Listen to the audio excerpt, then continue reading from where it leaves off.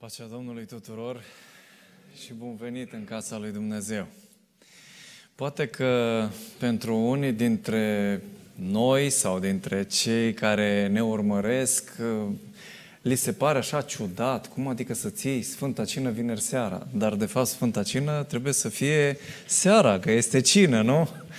Și dacă facem așa uh, o amintire, vis-a-vis de ceea ce ne spun Evangheliile, cina a avut loc într-o seară și nici măcar nu era vineri seara, era joi seara. Uh, că într-o ocazie îmi spunea o soră, frate mie, să-mi dai cina numai în sabat dimineață, era bolnavă. Eu altfel nu primesc. Zic, nu-i problemă, sora Hristos o dat o joi seara, dar dacă dumneata vrei la amiază, nicio problemă, punem cina la amiază.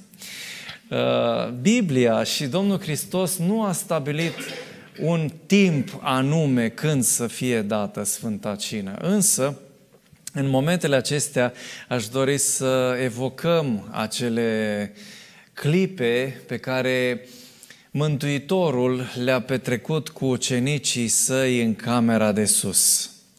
Am fost obișnuiți și suntem obișnuiți cu servicii mari de Sfânta Cină, în care este biserica plină și este fiecare scaun ocupat și totul este aranjat ca la carte și este bine să fie așa.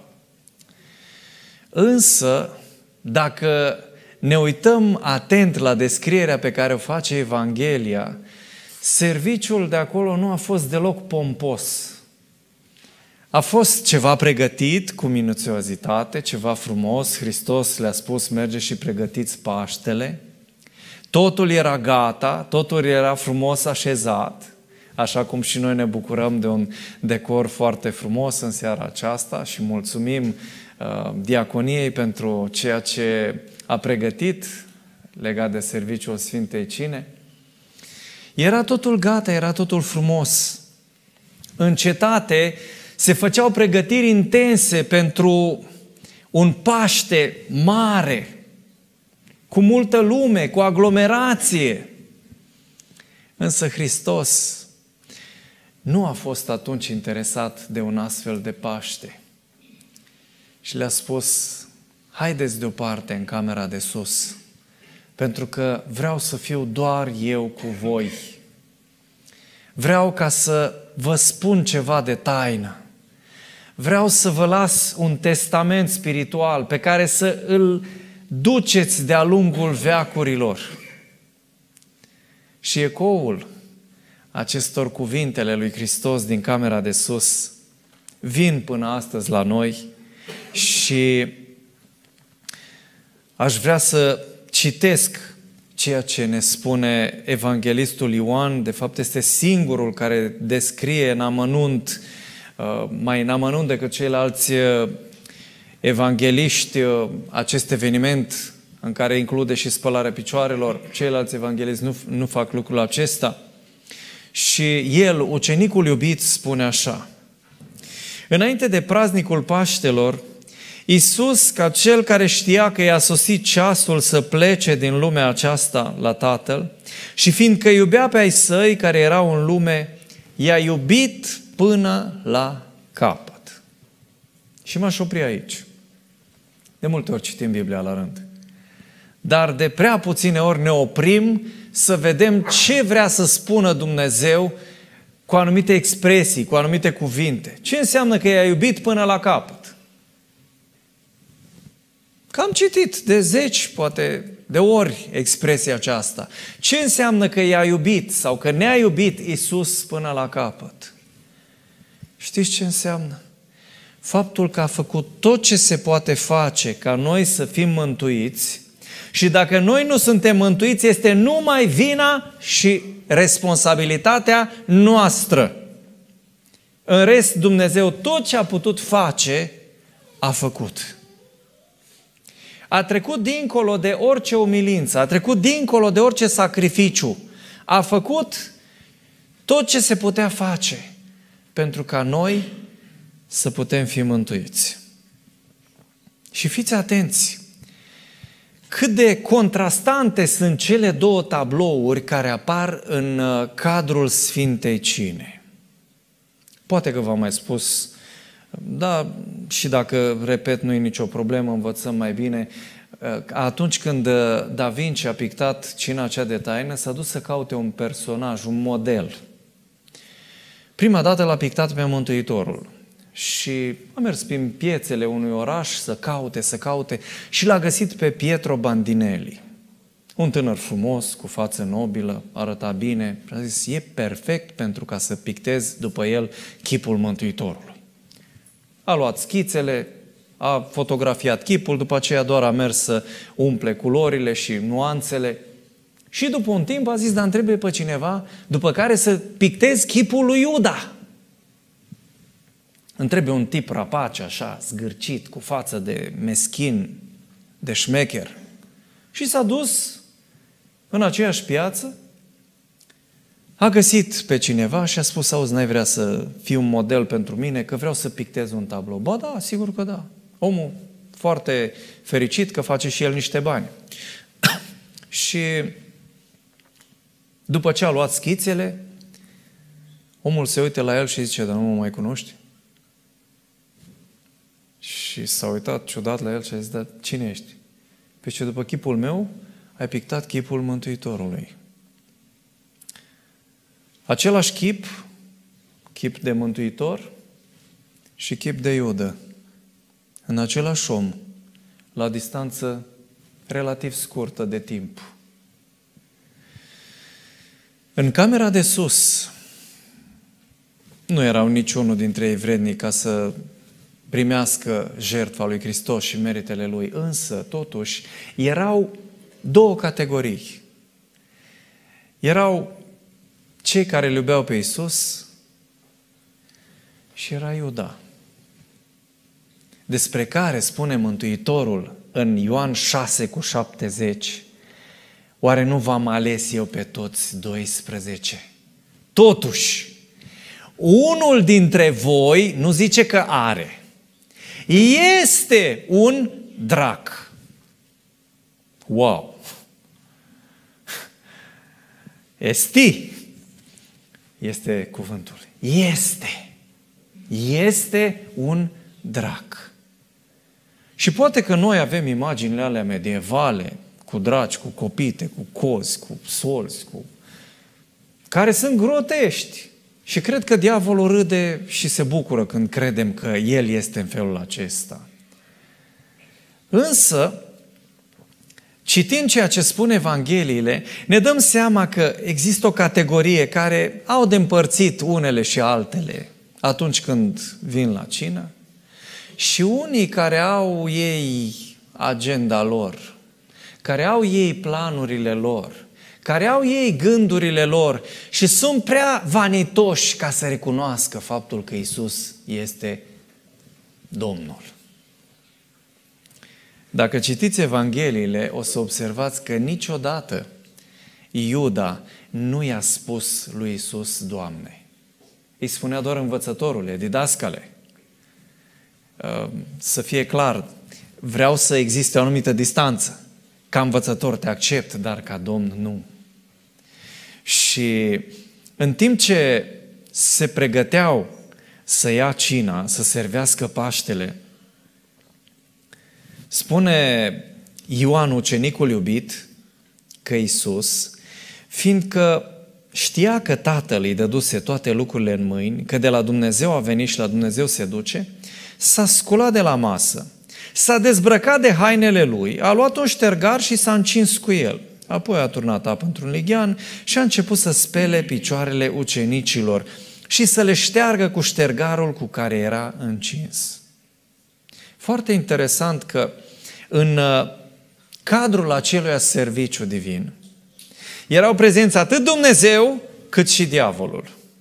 Spune că diavolul a pus în inima lui Iuda ca să-l vândă. Era acolo, era prezent. Noi credem că dacă am pus uh, mustul de Sfânta Cină, dacă am pus pâinea, dacă cerem binecuvântarea, dacă facem un serviciu frumos de închinare, diavolul o să fugă. Și cum este expresia în popor, ca de tămâie. Nimic mai fals. Știți ce bine stă aici? Îi place mai aude o cântare, îi place mai aude o predică bună, îi place ordinea din biserică. Pe el nu astea îl deranjează. Îl deranjează esențialul. Ce faci cu toate acestea? Ce faci cu simbolurile lui Hristos? Ce faci după Sfânta Cină? Ce faci cu Hristos?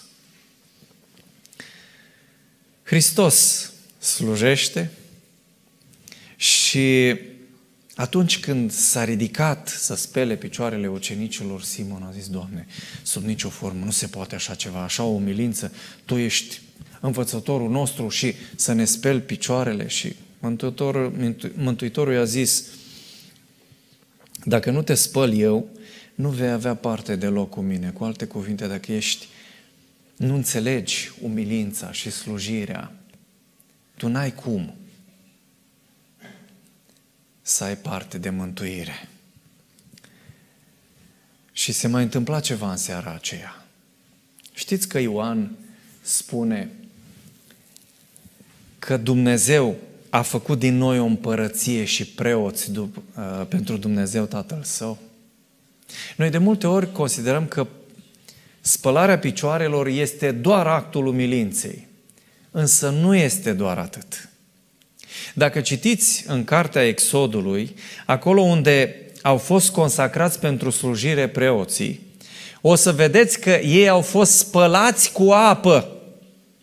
Și întrebarea este când a instituit Dumnezeu, Domnul Hristos, noua preoție? Atunci. Așa că atunci când vă veți apropia de Ligian, să faceți spălarea picioarelor, nu considerați că este doar un act al umilinței, este și un act al umilinței. Datorită faptului că Isus Hristos a făcut lucrul acesta, El care nu trebuia să-l facă. Dar este mai mult decât un act al umilinței. Este un act de investire a mea și a ta în slujba de preot, în preoția universală. În momentul când speli picioarele fratelui tău sau a sorei tale, îți manifesti acest act al slujirii în preoția universală. Doamne, a zis Petru, nu numai picioarele, dar și mâinile și capul. Noi suntem dintr-o extremă în alta, știți? Dumnezeu zice, dacă faci asta e suficient, este ok. Și atunci ne apucă zelul. Nu, nu, nu, nu, Doamne, lasă că mai fac mai mult. Nu, ziceți, fă cât trebuie. Și atunci totul este în regulă. Cine s-a scăldat, adică cine s-a botezat, n-are trebuință să spele decât picioarele. Adică, tradus, la Sfânta Cină avem o repetare a actului botezului. Pe de o parte este un act al preoției, pe de altă parte avem o repetare a actului botezului, unde este prezent Duhul, apa și sângele. Și aici putem să renoim legământul cu Dumnezeu. Și de aceea spune Domnul Hristos, cine s-a scăldat nu trebuie să spere decât picioarele, pentru că este o repetare a botezului. Căci, zice Iisus, ca să fie curat de tot, și voi sunteți curați, dar nu toți. Acum știm că existau animozități între ucenici. Știm că, inclusiv în seara aceea, după ce Hristos a terminat cu Sfânta Cină, au început să se certe, zice evanghelistul Luca. No bun, acum cine e cel mai mare? Cine stă la stânga, cine stă la dreapta? Și Hristos se spune, măi, dragii mei, n-ați înțeles nimic. În lume este așa, domnitorii se luptă între ei pentru întâietate, pentru cine de voi să nu fie așa. Cine vrea să fie mai mare, să fie cel mai mic. Cine vrea să stăpânească, să slujească. Însă, spune Hristos că între cei de acolo erau unii curați și unul era un drac. Zice, sunteți curați, dar nu toți. Știți ce îmi place la Mântuitorul? Discreția lui și iubirea și eleganța cu care l-a tratat inclusiv pe cel care avea să-l vândă. Iuda o făcea pe șmecherul, ha, zâmbe din ăsta de plastic, așa cum ne place și nouă de multe ori. A, facea Domnului, Doamne, vine, că, că vine, că ne vedem. A, și Iisus zice, prietene, cu sărutare, vrei să mă vinzi pe mine? Adică, putea să zică, păi bine, mă jnapane, mă, vulpoiule, lichea, tinichea ce ești, putea să-i spună în toate felurile. Însă, Pentru Dumnezeu, fiecare om înseamnă o pierdere. Gândiți-vă ce s-ar întâmpla ca având un copil să o ia raznă, să apuce de droguri, de prostii, să se rateze ca om în viață. Nu poți să... Te, te deranjează, te indignează faptele pe care le face, dar în același timp simți o durere nespusă ca părinte pentru că ți-ai pierdut copilul. Și nu este ceea ce ți-ai dori. Iisus are de gestionat această, această problemă care este în două culori. Pe de o parte avea pe ucenicii care îl iubeau așa cum puteau ei în mod nedesăvârșit și Iuda care urma să-l vândă. După ce le-a spălat picioarele și a luat hainele, s-a așezat iarăși la masă și le-a zis Înțelegeți voi ce v-am făcut eu? Să știți că niciun cuvânt al lui Hristos nu este în plus în Scriptură. Orice întrebare a lui Dumnezeu și orice cuvânt al lui Dumnezeu este cu țintă, cu scop. Și nu aș vrea să cădem în extrema asta cabalistă, că fiecare virgulă înseamnă un cod și nu, nu vorbim de extreme de hermeneutică de genul acesta. Dar cuvântul lui Dumnezeu are greutate și ceea ce a spus Dumnezeu aici are importanță. Înțelegeți voi ce v-am făcut eu. Pe de o parte, că v-am dat un exemplu, o pildă, a ceea ce am făcut eu să faceți și voi. Și pe de altă parte, dragii mei, v-am, v-am investit ca preoți în noua preoție. Voi mă numiți învățătorul și domnul și bine ziceți că sunt. Deci dacă eu, Domnul și învățătorul vostru, v-am spălat picioarele, și voi sunteți datori să vă spălați picioarele unii altora. Pentru că eu v-am dat o pildă ca și voi să faceți cum am făcut eu. Adevărat, adevărat, vă spun că robul nu este mai mare decât Domnul său, nici apostolul mai mare decât cel ce l-a trimis. Dacă știți aceste lucruri, ferice de voi dacă le faceți. În același tablou, în aceeași cameră, era mântuirea și o sândă. Și așa este și astăzi. Noi uh, vrem ca nemântuirea și pierderea să apară în culori din astea grotești, țipătoare și să zicem, oh, ia uite, diavolul, ia uite, oh, păcatul. Nu! Este atât de bine amestecat totul. Și atât de pe linie încât este foarte greu să-ți dai seama. Însă, tu poți să-ți dai seama este între tine și Hristos. Observați că Hristos nu le dă niciun indiciu ucenicilor până când Iuda a fost în stare să iasă afară. Poate, poate se întoarce. Îmi place discreția aceasta lui Dumnezeu. Noi dacă mirosim ceva, mergem pe un fir undeva și vedem ceva neregulă, fu, suntem în stare să facem pe justițiare lui Dumnezeu, să arătăm noi că apărăm dreptatea, dar Dumnezeu nu are nevoie de așa ceva. Iuda a, a avut șansa să se întoarcă și Hristos nu îl demască. Și merge până în ultimul moment. După ce Isus a spus aceste cuvinte, spune versetul 21, s-a tulburat în Duhul lui, a mărturisit și a zis, adevărat, adevărat vă spun că unul dintre voi mă va vinde. Nu-i spune, ăsta. Deocamdată lasă lucrurile așa în tensiune. Unul dintre voi mă va vinde. Și știți ce este culmea? Că până și Iuda s-a întrebat, Doamne, oare eu te vând? Noi avem așa capacitatea de a face, scuzați-mi expresia, pe proștii cu Dumnezeu. Și unii cu alții. Și când lucrurile sunt evidente, când uh, ai luat-o rău, razna, și atunci te întreb, Doamne, oare chiar am greșit?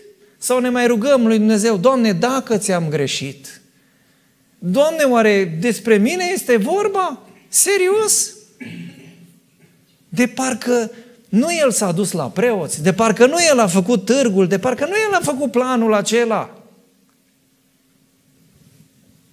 Atât de tare ne deformăm sufletește încât ne uităm identitatea și nu ne mai asumăm responsabilitatea pentru faptele noastre.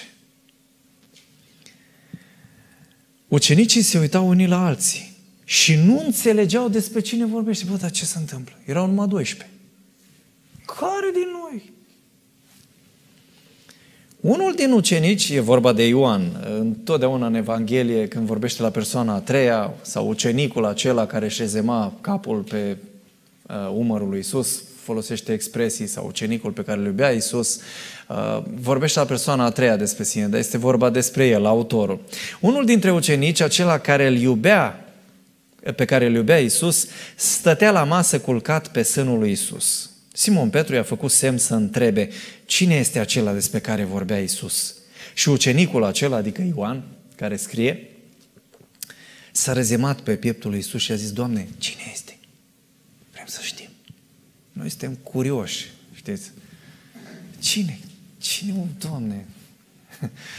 Vă aduceți aminte? Da, a fost și acum, recent, perioada asta în care am avut câteva mostre de, de delațiune uh, și delaționism uh, în practică puse. Dar și în vremea trecută erau. Da, predicam la învon și nu mă văd că vine poliția.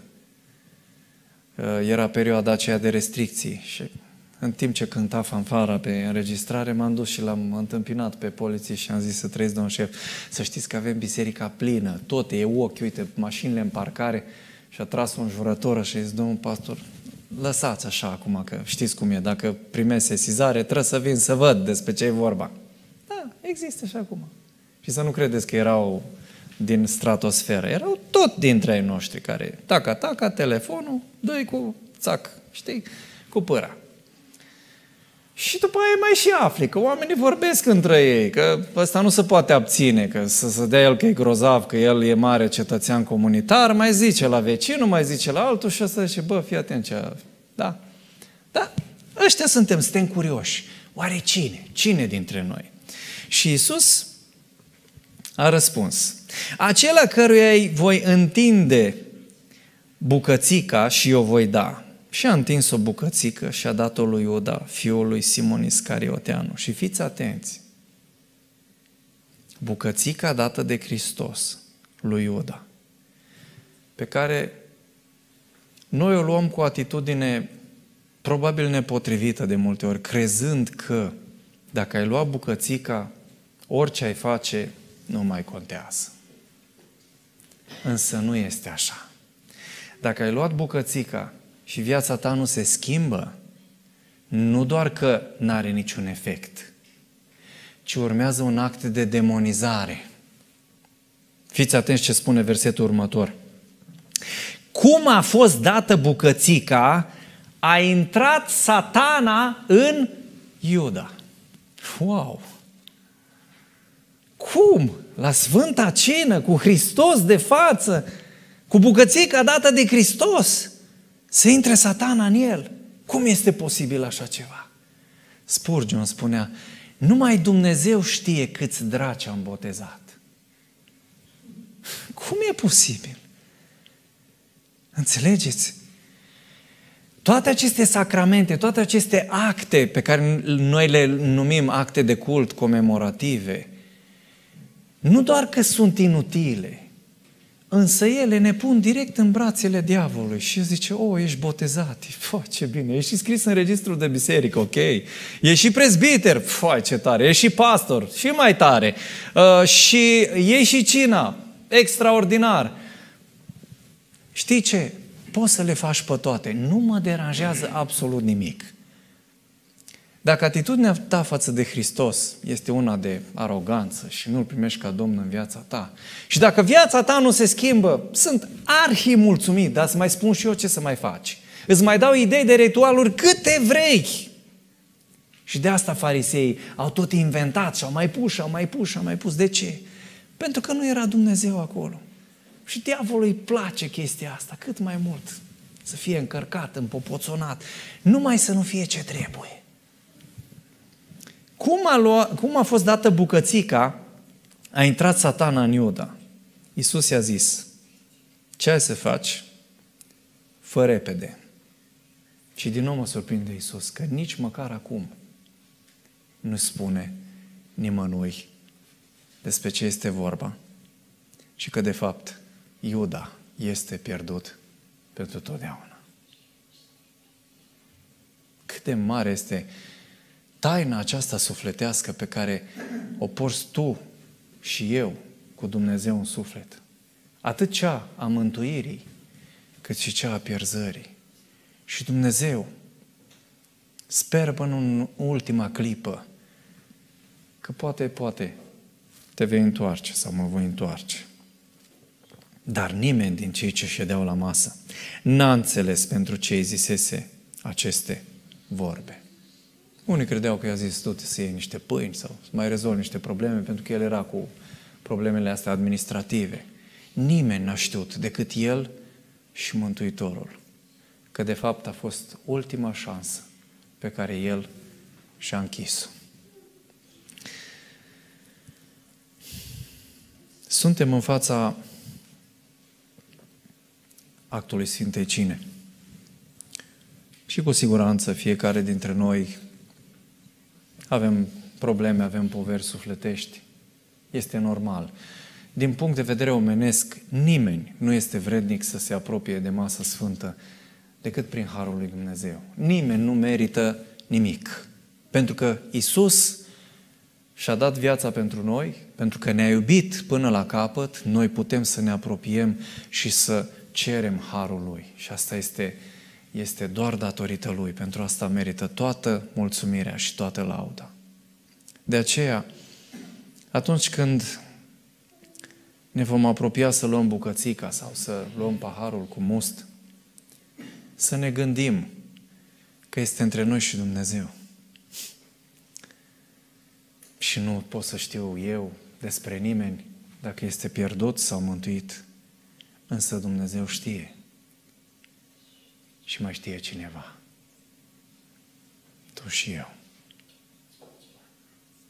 Nu te culca pe urechea moartă să crezi că dacă ai luat bucățica și nu-ți schimbi inima și umpli viața cu tot felul de chestiuni care arată și miros a religie și te fac un om care arată bine în oglindă, s-a rezolvat totul? Nu. Petru și ceilalți erau poate mai neciopliți decât Iuda. A luat sabia și a tăiat urechea lui ăla imediat. Nu știu dacă s-ar întâmpla așa ceva în Avantgarden, uh, câți dintre noi l-am mai pune prezbiter pe fratele Petru, nu? Cu țitarul ăsta, criminalul ăsta, tu-te mă de aici, la pușcărie cu tine. Cum adică, nu? Dar vedeți că Dumnezeu privește lucrurile mai complex și altfel. Și își dă seama că perversiunea unui om și, și retenia lui sunt mai periculoase decât actele acestea care pot apărea uneori în mod necugetat. Pentru că un om mai vulcanic poate după aia pare rău și zice, iartă-mă, asta e, am avut o ieșire și eu. Dar la alt tace, coace, planifică și nu uită. Rămâne acolo te ține în evidență și el are agenda lui. Și vorba lui Cezar, nu mi-e frică de oamenii care scot sabia în față, ci de cei palizi și umili. Și știți care este ironia? Că tot aia palizi și umili l-au înjunghiat. Aia care erau așa cu sforile și cu senatorii, l-au înjunghiat. Vreo 20 și ceva au fost care au băgat sabia în el. Așa se întâmplă și în relația noastră cu Dumnezeu. Credem că pf, îl păcălim pe Dumnezeu. Credem că putem să păstrăm niște aparențe. Însă, mântuirea și o sânda sunt aici. Și nu fac un sacrilegiu când afirm lucrul acesta. Pentru că însuși Apostolul Pavel spune că fiecare când mănâncă și bea cina Domnului, să se cerceteze pe sine, nu pe alții. Că nouă ni se pare, oh, ăsta, cum să apropie el de Sfântă? Nu-i treaba ta. Treaba ta este să te gândești în dreptul tău, să te cercetezi și așa să mănânce, pentru că zice, poți să atragi o sândă asupra ta. Mântuirea și o sânda sunt aici. Hristos vrea să-ți ofere mântuirea. Depinde doar de tine. Dacă vrei lucrul acesta sau dacă atrage asupra ta o sânda. Cât îl privește pe El, El te-a iubit și m-a iubit până la capăt. Dumnezeu a făcut tot ce se poate face. Și asta este vestea bună. Și vestea și mai bună este că poți să alegi mântuirea, să-L alegi pe Isus și actul din seara aceasta să-ți aducă o viață mai fericită, să-ți aducă pace în suflet, să-ți aducă iertare, să-ți aducă prezența Mântuitorului în inima ta. Mântuire și o sândă în aceeași cameră de sus. Dumnezeu și diavolul în același serviciu de consacrare. Mântuiți și pierduți în același serviciu al Sfintei Cine. Ce alegi? Aș vrea ca, înainte de a trece la spălarea picioarelor, să ne ridicăm și să ne rugăm Domnului.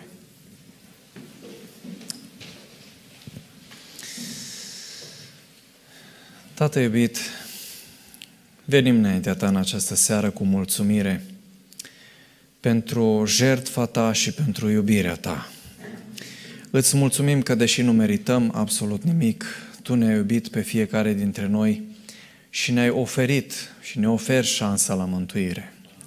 Poate că unii dintre noi ne-am împărtășit deja de zeci de ori, însă poate că am privit superficial actul acesta al Sfintei Cine, lăsând ca să treacă pe lângă noi fără schimbări prea mari în viață. Te rugăm, Doamne, în aceste momente, ca Tu să ne ierți și să ierți poporul Tău pentru neajunsurile acestea și pentru modul neglijent în care am tratat jertfa Ta. Te rugăm, Doamne, ajută-ne ca în seara aceasta, împărtășindu-ne din pâine și din must, spălându-ne picioarele unii altora, să realizăm că suntem preoții Tăi și că Tu ne-ai iubit până la capăt. Rămâi cu binecuvântarea peste noi, pentru că te-am rugat în numele Domnului Isus Hristos. Amin.